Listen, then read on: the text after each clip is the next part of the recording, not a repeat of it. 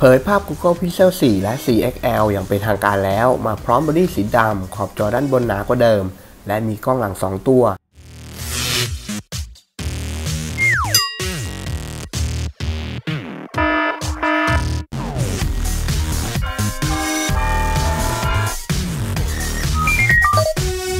เผยภาพ Google Pixel 4 และ 4 XL อย่างเป็นทางการแล้ว มาพร้อมบอดี้สีดำ ขอบจอด้านบนหนากว่าเดิม และมีกล้องหลัง 2 ตัวเรียงในโมดูลสี่เหลี่ยม อีกไม่กี่สัปดาห์ข้างหน้านี้แล้วนะครับ ก็จะมีการเปิดตัวสมาร์ทโฟนรุ่น Pixel 4 ที่เป็นสมาร์ทโฟนเลือดธงรุ่นใหม่ล่าสุดจากแบรนด์ Google นั่นเองครับ ล่าสุดก็เลยมีภาพ render ของสมาร์ทโฟนรุ่นนี้ ออกมาให้เห็นกันแบบเต็มๆเป็นที่เรียบร้อยแล้วครับ โดยถูกเปิดเผยออกมาจากแหล่งข่าวที่มีความน่าเชื่อถือได้อย่าง u n b r o w s นั่นเองครับ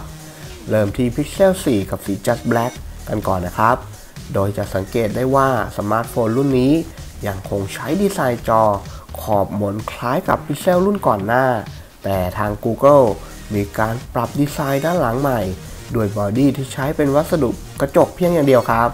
โดยไม่ใช้บอดี้โลหะผสมกับกระจกเหมือนกับรุ่นก่อนหน้าครับ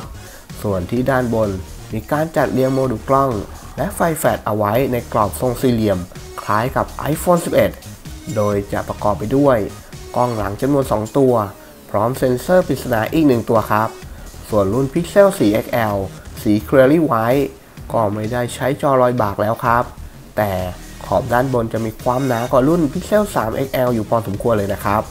เนื่องจากในรุ่น Pixel 4 และ 4 XL ทาง Google ได้ใส่ชุดเซ็นเซอร์ตัวใหม่สำหรับใช้งานร่วมกับ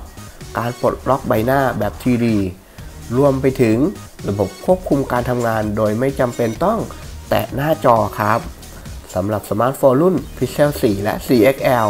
มีกำหนดการเปิดตัวที่นิวยอร์กวันที่ 15 ตุลาคมที่จะถึงนี้ครับ ซึ่งคาดว่าจะมีสเปคจัดเต็ม โดยชิปประมวลผลตัวแรงรุ่นใหม่ล่าสุดอย่าง Snapdragon 855 Plus ที่มีระบบปฏิบัติการ Android 10 พร้อมกล้องหลังตัวใหม่ที่ได้รับการอัปเกรด โดยความสามารถเกี่ยวกับ AI รวมไปถึง Google Assistant ที่ฉลาดกว่าเดิมด้วยครับ คราวนี้เราก็ต้องรอดูกันต่อไปแล้วครับว่า